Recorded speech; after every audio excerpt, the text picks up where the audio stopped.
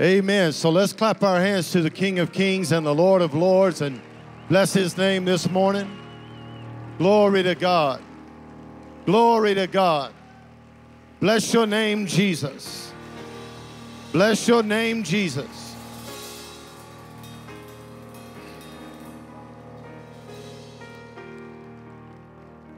Just before you take your seat, let me say a few things. Uh, first of all, I sure do love Pastor Larry Huggins and his beautiful wife. What an incredible asset they are to Jubilee and uh, giving honor where honor is due. I, I love my pastor, Pastor Dick Bernal, and he mentioned something about me coming out here or something, and praise God, Amen. I, whatever whatever He wants, I'm in it. But I do know this much: that God is merging giftings and anointings. He's a ner- he, He's merging uh, ministries across this nation, and the power of merging is this: that two are better than one. Amen. If one can put a thousand to flight, two can put ten thousand to flight. Then what can we all do if we come together in a confluence of what God has purpose in the earth. Amen. So I'm excited about that. I'm also extremely excited to be able to preach for Pastor Larry tonight at the summit. I invite all of you out. It's going to be a powerful move of God. If you do not mind, I'm going to get right into what I feel like God is doing and saying in this moment. Amen. Because this moment is very powerful for you. So I'm going to ask you to lift your hands, please, all over the building. Father, I thank you for a conspicuous anointing that is in this building to break every generational curse and dismiss every generational spirit. I thank you, Lord, for the power of truth. And I thank you for the arrival of truth. And we realize, God, that when we get to truth, truth makes us free. And I thank you for, re- for uh, freedom and liberty all over this sanctuary today.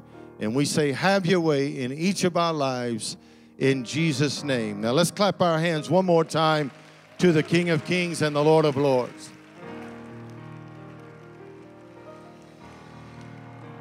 Hallelujah. Hallelujah. Before you sit down, high five three people and tell them it's on in the building. It's on in the building. Amen. Amen.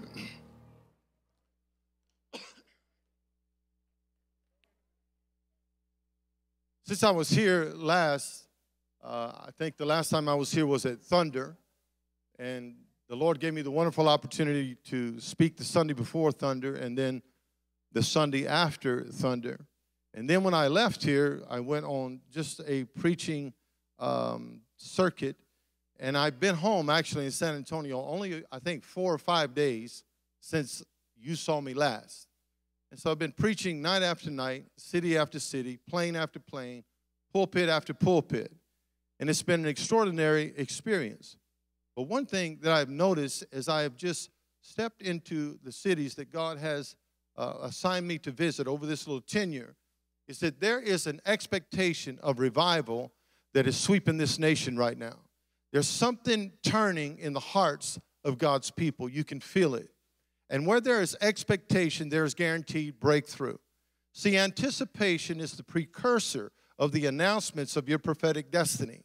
So, what you anticipate is what you will hear announced. So, it's very important that we point our expectation towards God's will for our lives.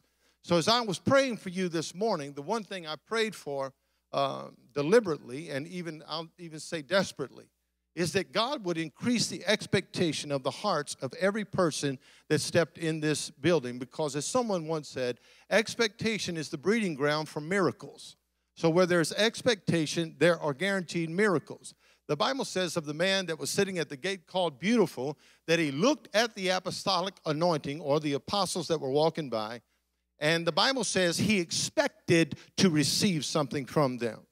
Now, I promise you, if you came in here expecting, God will exceed your highest expectation. Now, look at your neighbor and tell him, give God something to work with. Amen. So, expect God to do something prolific Expect him to do something prophetic. Expect him to do something profound, and I guarantee you that he will supersede your expectations. Can you say amen to that? God is good, isn't he? Do you love the Lord with all of your heart? Are you glad you're saved, sanctified, filled with the Holy Spirit? Are you glad you have purpose, power, and potential? Are you excited about being in the house of God? Are you expecting God to do something great in your life? Then jump on your feet one more time and praise Him like you know something great is going to happen in your life today. Come on, y'all. I know you, Jubilee.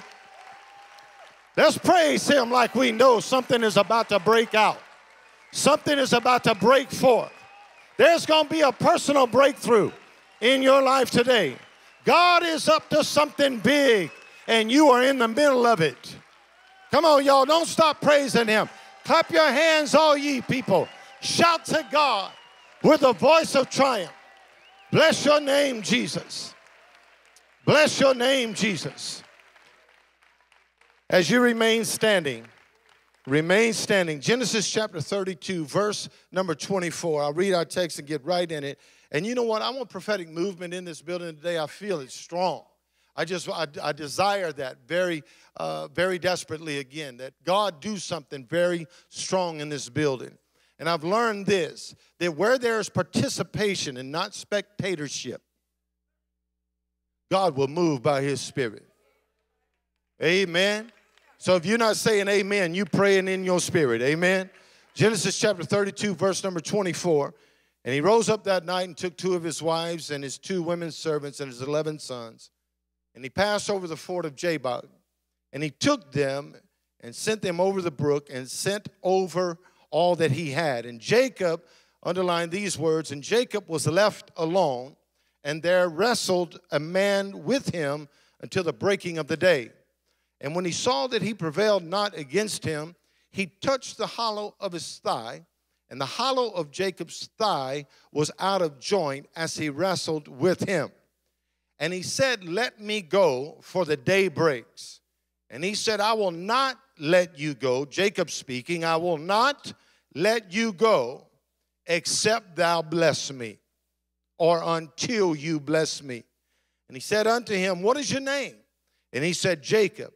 And he said, Your name shall be called no more Jacob, but Israel. For as a prince hast thou power with God and with men, and you have prevailed. Powerful. And Jacob asked him and said, Tell me, I pray, your name. And he said, Wherefore is it that you do ask my name? And he blessed him there. Underline those words, and he blessed him there. And Jacob called the name of that place Peniel, for I have seen God face to face, and my life, boy, this is strong, my life is preserved. And as he passed over Peniel, the sun rose upon him, and he halted upon his thigh. I'm going to preach a message this morning that is entitled The Blessing That Changed My Walk. I want you to say those words to about four people around you the blessing that changed my walk. Now, let me pray one more time before you sit down. Father, I thank you for an open heaven over this sanctuary. I thank you for easy preaching. I thank you that people will hear what is not said. I thank you, God, that the power of your word will show up in this building strong today. Jeremiah said, Your word is like a hammer that breaks to pieces the heart of stone. Hebrews tells us your word is like a sword, it's sharper than any two edged sword. So, Father, we pray your word does its work today. And we give you praise now in Jesus' name. One last time, praise him with all your heart.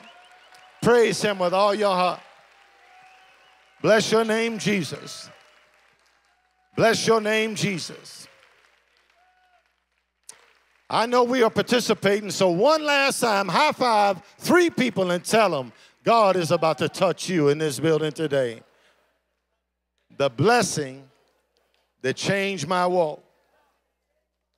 When I left here the last time, you may be seated after the last service at Thunder, the Lord began to deal with me on the power of blessing, Pastor Larry. And he, you alluded to it today, so I knew that was a confirmation from the Spirit of God that I was on page with God.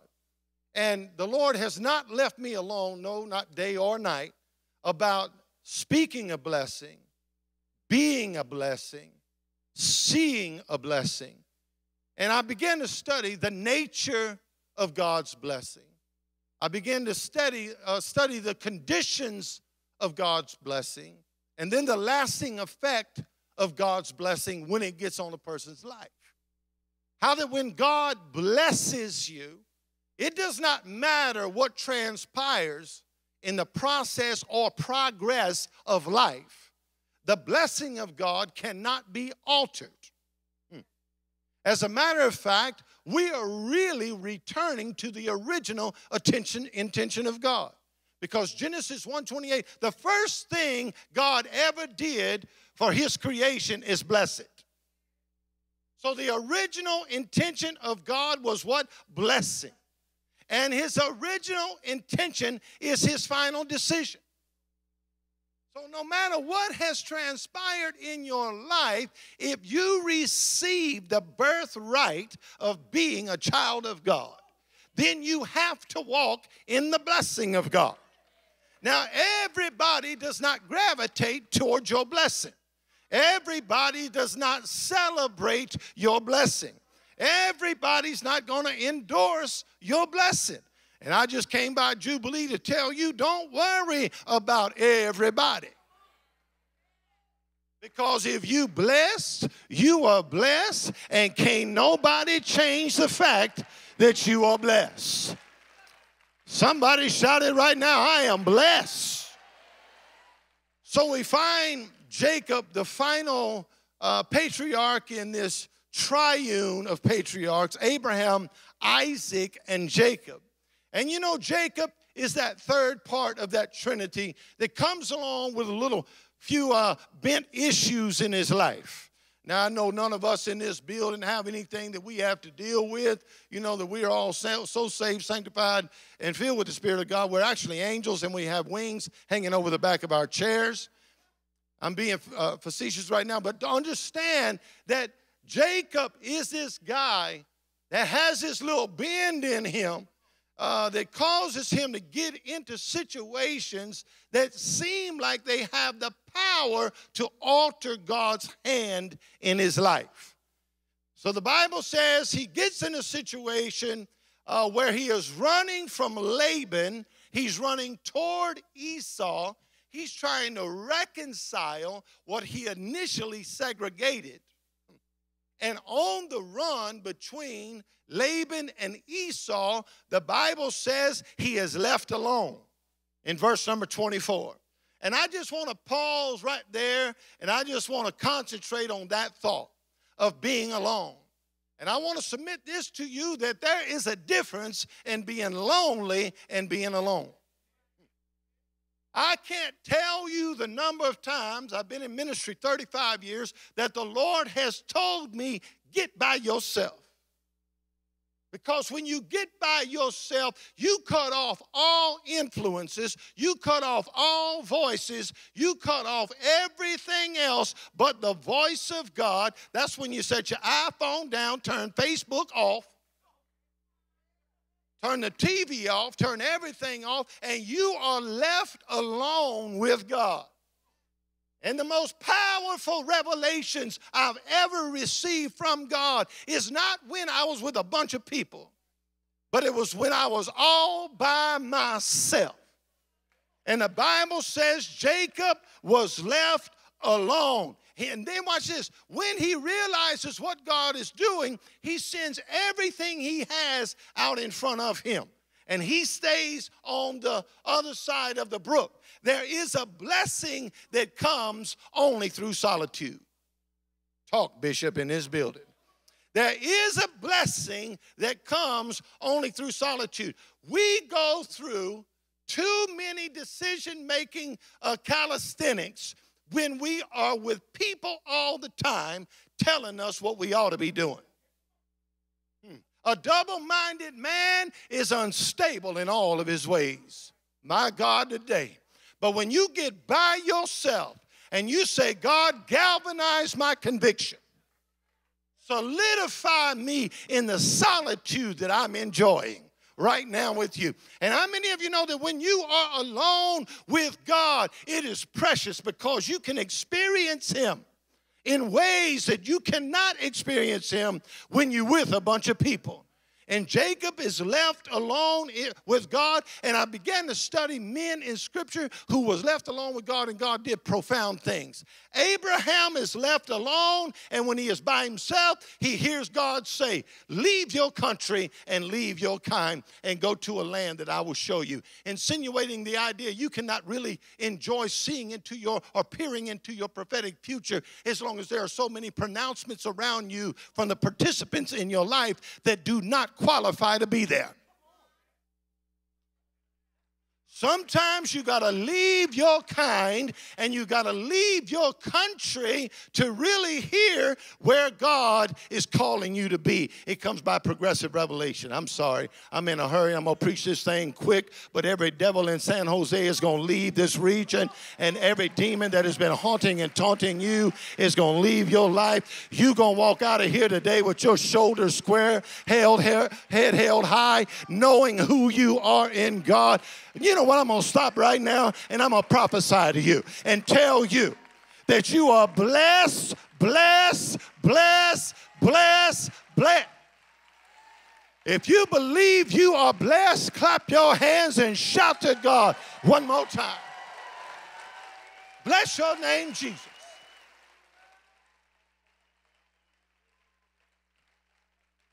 Moses hears from God when he's left alone and he hears from him out of a burning bush. Joshua does not see the captain of the Lord's host until he's by himself. Elijah hears a still small voice when he is alone with God. David chooses five smooth stones when he is alone with God. Jesus prays, Father, if it be your will, when he is by himself. Psalm 102, verse 7, David wrote these words I watch, and I am, I am as a sparrow alone upon the housetop. I'm looking, God, but I feel like I'm all by myself, but I am on the roof, I'm not on the ground. I might be by myself, but I'm, I'm at the peak of my destiny when I'm all alone. And I'm going to go ahead and submit this to you. When people walk out of your life that God has not assigned to your life, quit trying to hold on to what God has already told to leave. Quit mourning over what God removed from your life. And many times, God will remove people from your life in order for you to receive the blessing of God that is coming from other people trying to get in your life. Bishop, help yourself. In solitude, David said, Watch this, he's hiding from Saul, Pastor Larry. He's anointed and he's in a cave, and Saul's trying to kill him. And he writes these words I cried to the Lord with my voice. With my voice to the Lord, I made my supplication, all by himself. I poured out my complaint before him. I showed before him my trouble. When my spirit was overwhelmed within me, you knew my path. In the way, in the way wherein I walked, they have privately laid a snare for me. Watch what he said, all by himself. I looked on my right hand, and there was no man that would know me. Refuge failed me. No man cared for my soul all by myself. But right there, I cried to the Lord and I said, You are my refuge. You are my portion in the land of the living. Attend to my cry. I am brought very low. Deliver me from my persecutors, for they are stronger than I am. Watch what he says Bring my soul out of this prison, and I will praise your name. The righteous shall compass me about, for you shall deal bountifully with me. Here's the promise you make in solitude Lord, when I come out of this season, when I come out of this phase, when I come out of this term, when I come out of this duration, I'm going to praise you like I have never praised you before. Anytime God brings you into a season of solitude, it is a setup for what's on the other side of you being by yourself. And many people in this building are going through a season in your life where it seems like God is removing people. Just He's just cutting stuff off and He's just getting it down to you and Him. I promise you, when that happens, get ready, get ready, get ready, because your solitude is a preparation for what God is about to bring in your life. Somebody shout hallelujah right there. So, in solitude, in solitude, watch what he does. Jacob prays, Let me go. The, the, the angel prays, Let me go, for the day breaks. And watch what Jacob prays I will not let you go except you bless me. Whew. And the angel said, What is your name? He said, Jacob. And the angel said, Your name shall no more be called Jacob. Man, I'm trying to contain myself, y'all. But now your name gonna be Israel. For as a prince, you have power with God and men, and you have prevailed. And Jacob said, Tell me, I pray, what's your name? Hmm. I like that. He said, Don't ask me my name. I'm just here to bless you. Now, watch this. He's left alone, and God pounces on him. And he does it for one reason for Jacob to face himself. The angel said, What is your name? Quit denying who you are. Quit denying the patterns that have engraved themselves into your personality. Now your reputation is preceding you. He said, Until you face who you are, you can never see who I'm making you. He said, I admit it, Pastor Randy. My name is Jacob. Then God said, Now I can work with that. Because now you being honest. Too many people refuse to face not God, to face themselves. Sometimes we have to look in the mirror and say certain things are not happening in my life because certain things are going on in my life. And until you can face the music, don't expect to dance. And Jacob said, My name is Jacob. The only reason he asked him, Listen, is not only that he would face himself, but he could realize who he's becoming. Because when he said, I'm Jacob, then God said, Yes, you are Jacob, but this is who you are becoming.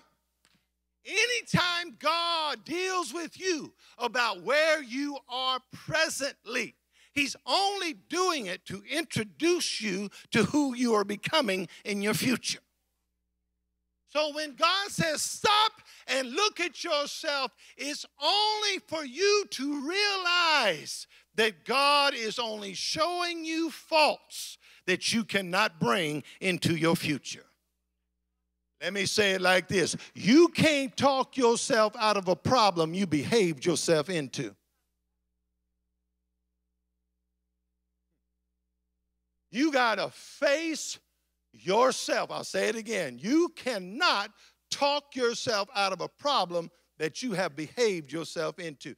And Jacob had a behavior problem because the problem had become a pattern. His name means to circumvent, not just to deceive or supplant, but literally to circumvent. Circumventing is taking shortcuts.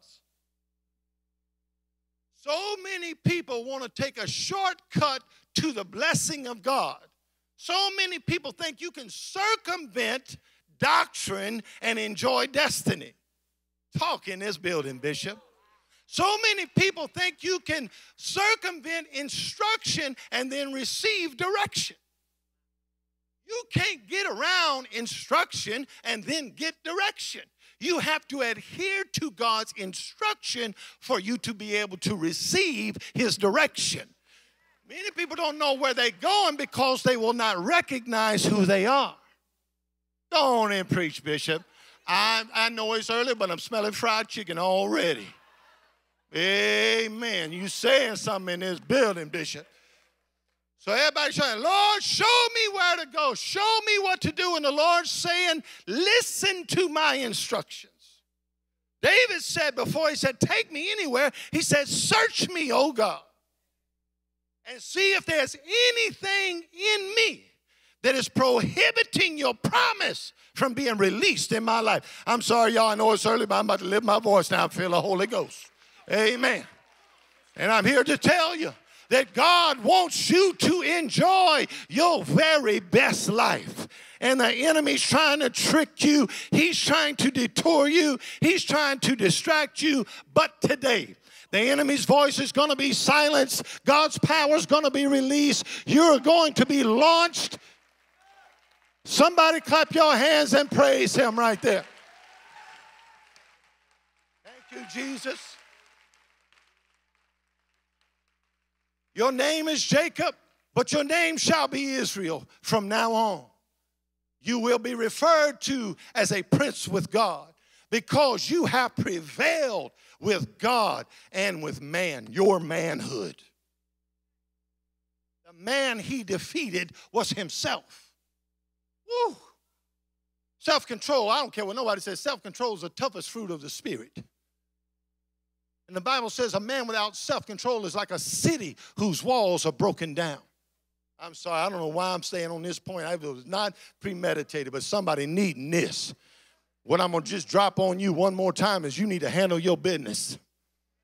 Amen. You need to look at yourself and say, God, whatever is slowing me down from becoming everything you ordained me to be, whatever is slowing me down from walking in the blessing that you preordained for me to enjoy, I ask you to remove it from my life. I don't care how bad it hurts. I don't care if you have to tear it, take it, whatever it takes, get it out of my life because I know your hand is on me and I want to please you and I want to live in my purpose in the earth and fulfill your will in the earth for my life. So do whatever you have to do. Throw your hands up and shout it, Lord, do whatever you have to do. Come on, say it again, Lord, do whatever you have to do. Now, watch what happens here. He said, Let me go the angel says it, for the day breaks. Now, watch what Jacob says I will not let you go except you bless me. Now, if anybody knew the art of holding on, Jacob did. When he was born, what was he doing? Holding on to his brother's heel. He was a heel catcher. And when he caught something, he knew how to hold on to it until his change come. Job prayed like this all the days of my appointed time. I will wait. I will hold on until my change come. You know what I've noticed? Too many people allow God to get a hold of them, but they don't get a hold of Him. It's one thing for God to touch you in an altar, it's another thing for you to grab hold of Him and walk out the church with Him. It's high time for us to stop having altar experiences and start enjoying altar experiences where we grab hold to God and say, God, I'm not gonna let you go until you bless me. In other words, I didn't come in here for you to touch me like that just to have an emotional experience, just to feel your presence in a temporary moment. No, God, if you gonna dare touch me like that, then I promise you I'm gonna hold on to you come hell or high water. I'm gonna hold on to you when everybody else walks out. I'm gonna hold on to you when my family family rejects me, I'm going to hold on to you. When I lose my best friend, I'm going to hold on to you. When all my company leaves my life, I'm going to hold on to you. And I'm not going to let you go until you bless me. The woman with the issue of blood said, If I can but touch the hem of his garment, I shall be made whole. The word literally means if I can uh, grab hold of his garment, if I can attach myself to his virtue, I will never be the same. My God, if you've gone through all the hell you've gone through to get in his presence, please don't leave the same person you came in at. If there's anybody in this building that says, I'm going to hold on until he bless me, I double dog dare you jump on your feet and say, God, I'm not letting you go. Throw your head back and open your mouth and say, God, I'm not letting you go. Say it again. I'm not letting you go. Woo. Y'all gonna let me preach this whole word? How much time I have left, Pastor? About an hour? Okay. Sit down for one second. I'm about done. Listen to Bishop just for a moment. Listen, folks. Grab hold of God today. You say, Bishop, that sure sound country to me. Grab hold of God.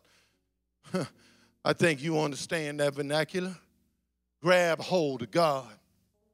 It's the paradox of our soul. It's the paradox of our soul.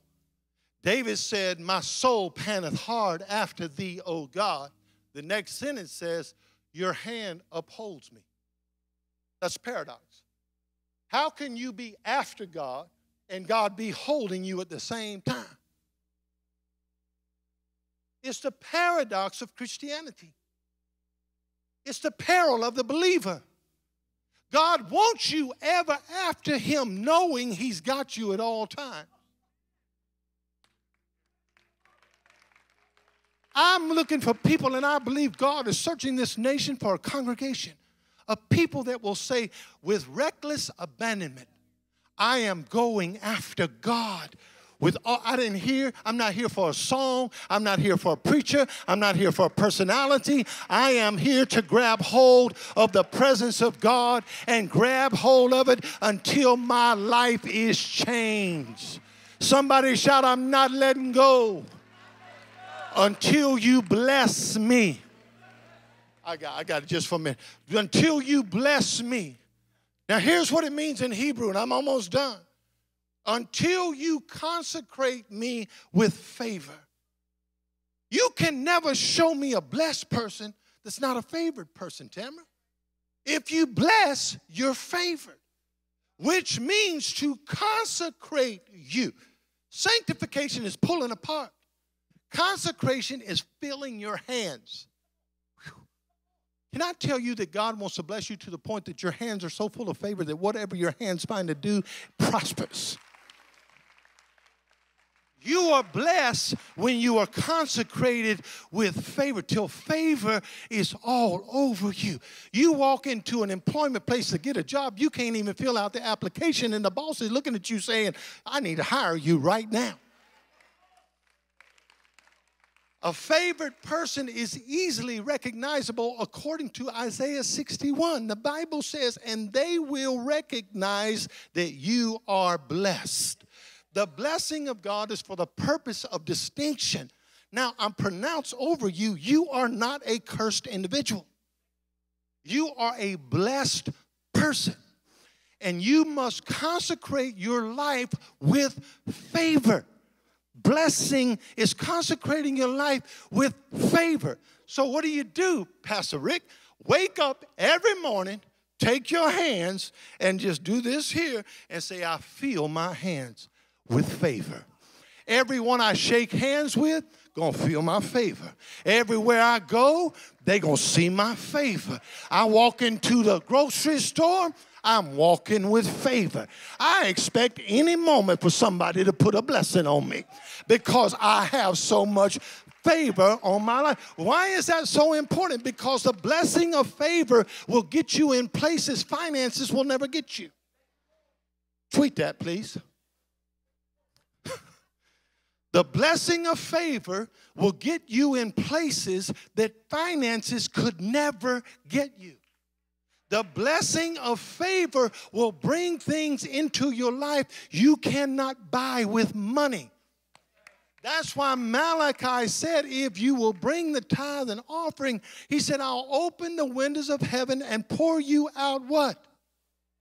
Say it again blessing that there's not room enough to receive. He didn't say I'd pour you out money. Blessing is more valuable than money. I'll pour you out favor. There's not room enough to receive it. I'm telling y'all, I am so on this message. It's so in me since I left here at Thunder that I am blessing everybody I see.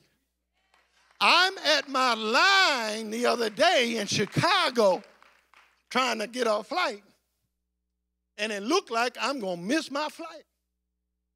And I walked up to the flight attendant that is at the counter and I said, Ma'am, before I ask you for anything, I just need to say this to you. May God consistently do good in your life. She looked up at me. She adjusted her head and she said, And may God bless you. I said, Now, ma'am, I don't know what you're feeling in this particular region right here, but I feel blessing all around us. She said, Well, I do too. I said, Well, ever since you feeling such a great blessing, I need to ask you for a favor.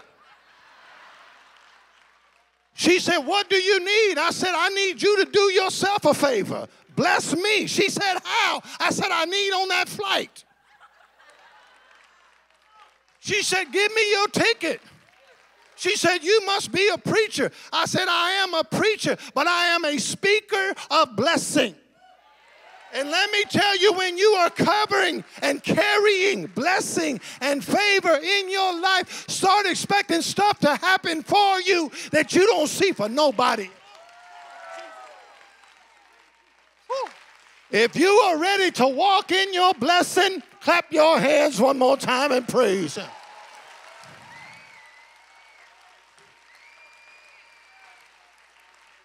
I'm convinced of this, Pastor Larry. We have a bank of blessing that many of us have not tapped into, and it's backed up with blessing.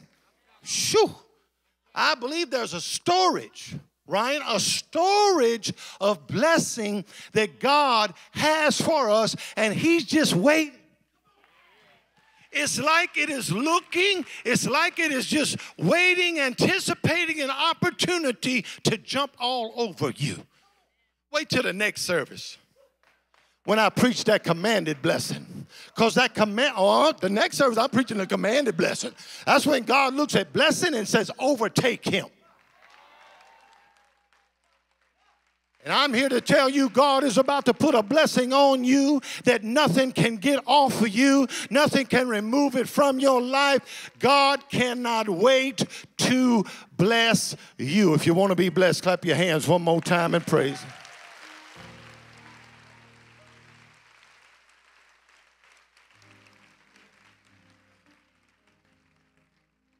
My shoe came untied and I don't want to deal with it. Amen.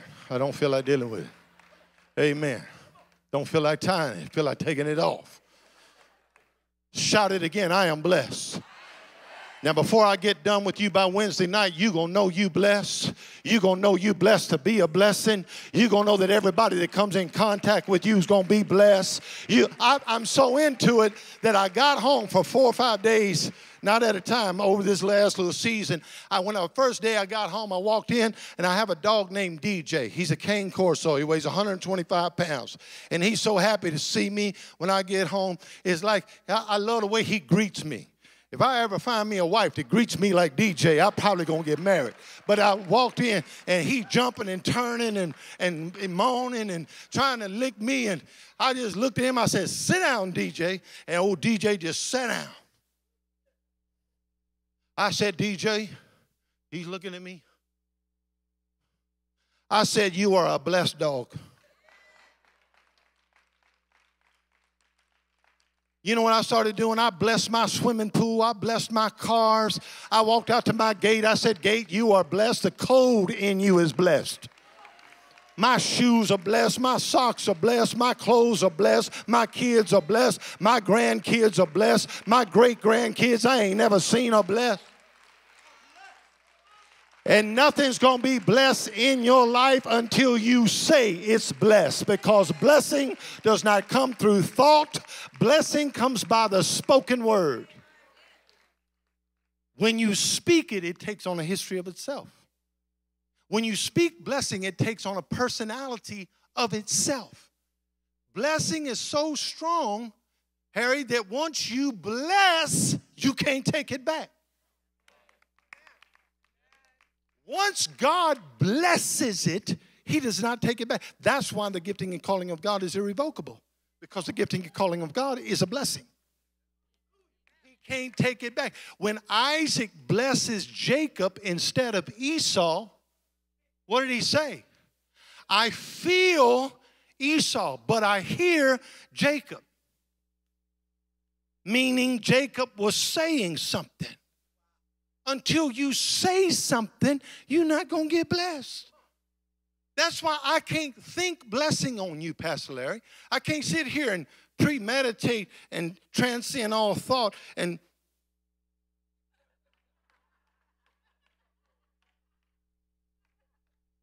You can't think blessing. All blessing that is activated in the Bible is spoken by someone's mouth.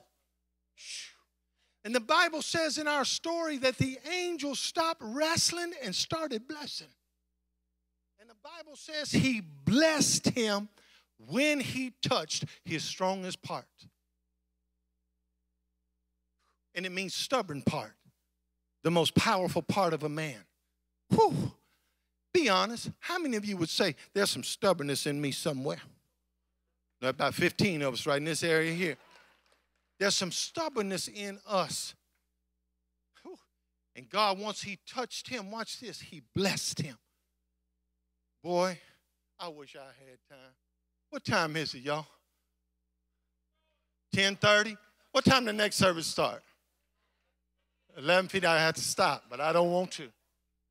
Because I'm here to tell you when God blesses you, like I'm talking about, you will never walk the same again in your life. The Bible says from that day forward, he halted on his thigh, which means the pace of his walk changed after God blessed him.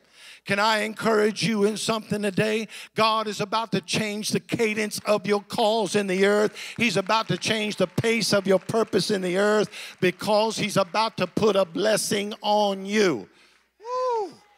When he halted in his thigh, it literally means the style of walking changed.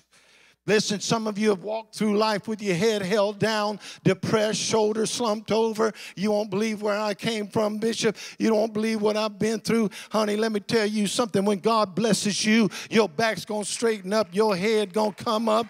He is the glory and the lifter of your head. Your walk is about to change. Where you've been dragging your feet, you're about to start running with vision. If anybody in here is ready for God to put a blessing on your life, jump on your feet and begin to praise Him like you've already received it.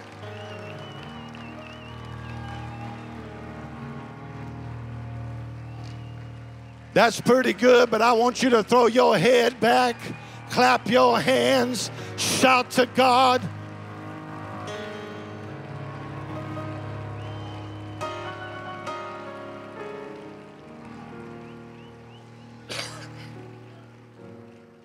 Why, Bishop, are you so adamant about us walking in the blessing of God?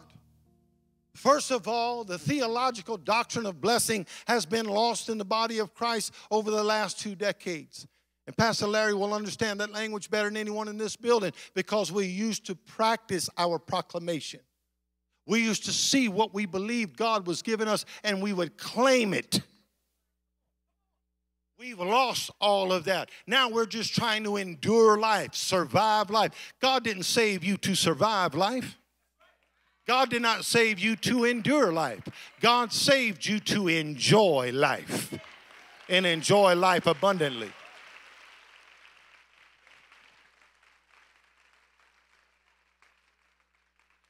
I am after this blessing so strong for this reason. Too many people have rehearsed the curse for too long. And we're scared of the curse when God Himself said a curse can only go to your grandson. That's as far as a curse can go in your lineage. That's a principle of Scripture that is theologically correct. That the father's father's curse is on you. but we don't read the rest of the Bible. Because the blessing of God lasts a thousand generations.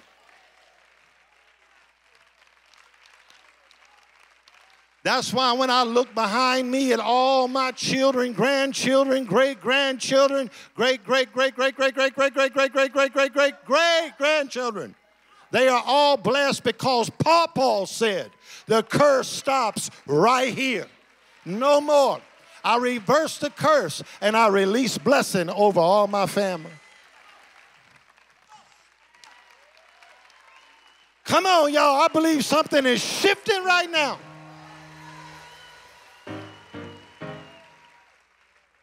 Hallelujah. Isaac, I'm going to ask you to move this stuff here, and I'm going to do something real quick. We got to do this in five minutes. So if this is your word, come to this altar right now. You say, Bishop, this is my word. Come on right now. You say, this is my word. I needed this. Come right now, quick as you can. We got to do this quick. Amen. I got to do this quick. Come on. You say, Bishop, this is my word. I want to walk in the blessing.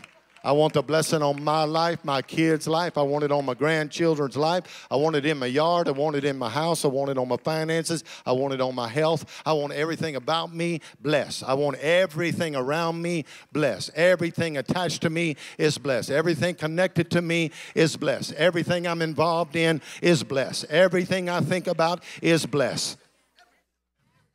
Throw your hands up and say, Lord, I receive your blessing. Hallelujah. Now, with your hands up, your hands are toward Him. Put your eyes on me just for a moment. I always pray before I preach, Lord, I break every generational curse. Y'all have heard me pray that, right? Every time I break every generational curse. For the first time this morning, Eileen, the Lord spoke to me and said, You can't break a curse without releasing a blessing. In other words, when the curse is broken, the blessing is released. So the Lord told me to start praying like this I break every generational curse and I release a blessing to a thousand generations. Hallelujah. Every hand raised as high as you can get it. Father, reverse the curse in my life. It stops with me. And now, Lord, release the blessing on my life and a thousand generations behind me. I receive your blessing. I receive your word. I thank you now that I am a walking blessing. I'm a talking blessing. My life will never be the same in the name of Jesus. Lord, I repent for anything that is prohibited your blessing from flowing in my life and the life of my family. And now, Lord, I permit blessing to flow through my life in Jesus' name. Now, look, y'all, look at Bishop. Don't walk out of here. Don't walk. I'm in this next service. I'm gonna preach this commanded blessing. It's gonna change your life. But now listen, don't walk out of here behaving like you did not just pray that prayer. All right? You have to change your behavior. Talk blessed. I was with Ryan, I was with Josh the other day, you know, Josh, and, and we're going down the road, and I got a call. Can I just be vulnerable with y'all? And, and listen, we're going to receive an offering in a minute, so before y'all leave, bring that offering up here. Amen. I'm just doing what Pastor Dick suggested. We going down the road. I got a call from my assistant. I've been on the road for 30 something days. I'm tired. I'm tired of hotels, tired of planes. And I was a little irritable. And it was my assistant. And she said, You're going to kill me. Soon as she said it, I said, What did you do? And I have a beautiful SRT8 uh, charger. It's not real expensive, but I like it. And she said, I wrecked your car.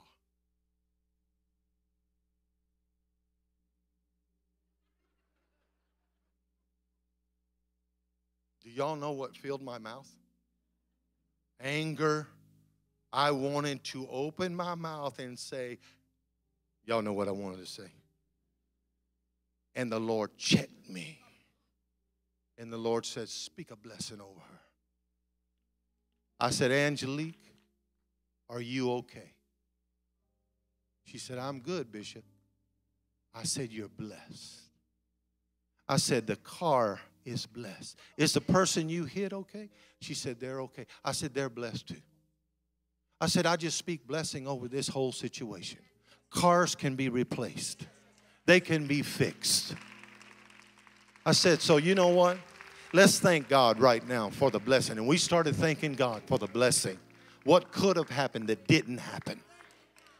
All it takes is changing what you say and how you say it. So the next time you feel yourself about to get angry, just switch it up.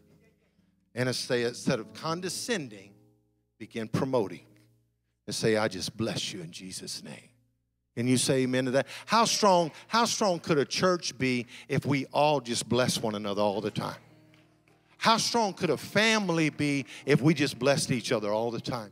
How strong would your kids be if every morning before they got on the bus, you sat down eating that oatmeal and them raisins in it, and you looked at them and you said, Baby, you blessed in the city, you blessed in the field, you blessed on that bus, you blessed at that school, you blessed in your future, you blessed in this house?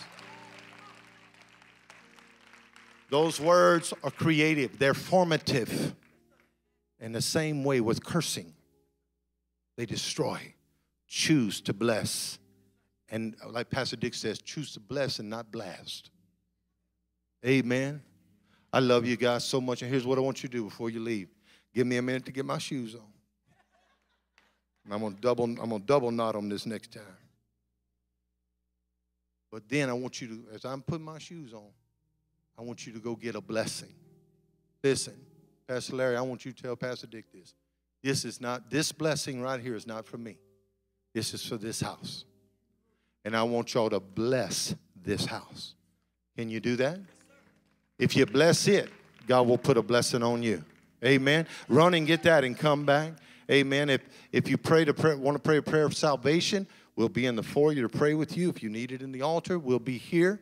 You've never been born again, but I want to shake your hand and get to meet you, and I'll be in the foyer immediately after service when we dismiss. As a matter of fact, Pastor Larry, why don't you come on and direct the people? Amen. Pastor Larry?